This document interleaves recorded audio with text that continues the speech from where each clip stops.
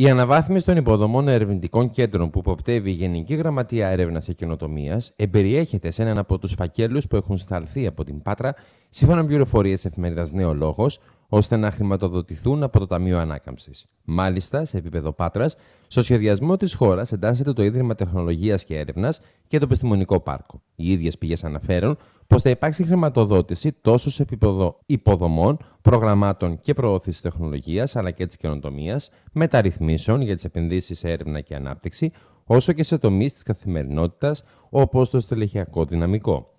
Το Ίδρυμα Τεχνολογίας και Έρευνας ιδρύθηκε το 1983 και από το 2019 αποτελείται από 8 ερευνητικά Ινστιτούτα που λειτουργούν σε κομβικά σημεία της ελληνικής περιφέρειας. Στην Πάτρα, το Ηράκλειο, το Ρέθυμνο, τα Χανιά και τα Ιωάννινα. Υλικά, χημική μηχανική, υπολογιστικά μαθηματικά, βιομηχανική μηχανική και ιστορικές έρευνες.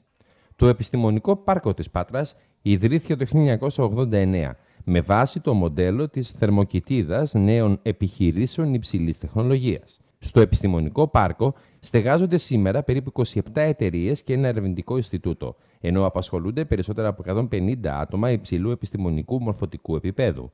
Οι εγκαταστημένες εταιρείες έχουν κατοχυρώσει τα τελευταία χρόνια περισσότερες από 30 διεθνείς πατέντες, έχουν υλοποιήσει περισσότερα από 40 έργα έρευνας και τεχνολογικής ανάπτυξης, συνολικού προπολογισμού περίπου 30 εκατομμυρίων ευρώ και έχουν επενδύσει σε πάγιο τεχνολογικό εξοπλισμό περισσότερα από 7 εκατομμύρια ευρώ.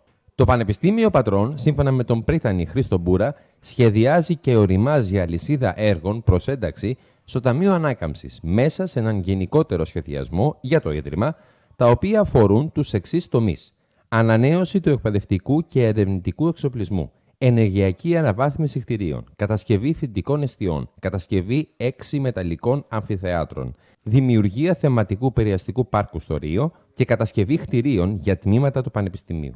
Οι προτάσεις έχουν παρουσιαστεί στα αρμόδια Υπουργεία και συνεχίζεται η επεξεργασία τους από το Πανεπιστήμιο Πατρών. Τα έργα αυτά θα συνεισφέρουν στην ανάπτυξη του Πανεπιστημίου και θα δημιουργήσουν θέσεις εργασίας στην περιοχή, σημειώνει ο κύριος Μπούρας στο νεολόγο. Την ίδια στιγμή, όπως άλλωστε έχει τονίσει ο Υφυπουργός Ανάπτυξης και Επενδύσεων, αρμόδιος για την έρευνα και την καινοτομία, Χρήστος Δήμας, το Ταμείο Ανάκαμψης είναι μια σημαντική ευκαιρία την οποία οφείλουμε να αξιοποιήσουμε ώστε να αναβαθμίσουμε την ανταγωνιστικότητα της ελληνικής οικονομίας.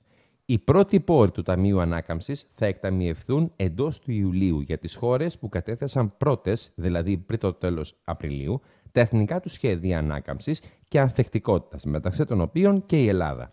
Υπενθυμίζεται πως η Ελλάδα έχει ζητήσει στήριξη ύψους 30,5 δισεκατομμυρίων ευρώ από το Recovery and Resilience Facility, τον κορμό δηλαδή του Ταμείου Ανάκαμψης. Δηλαδή 17,8 δισεκατομμύρια ευρώ σε επιχορηγήσεις και 12,7 δισεκατομμύρια ευρώ σε δάνεια.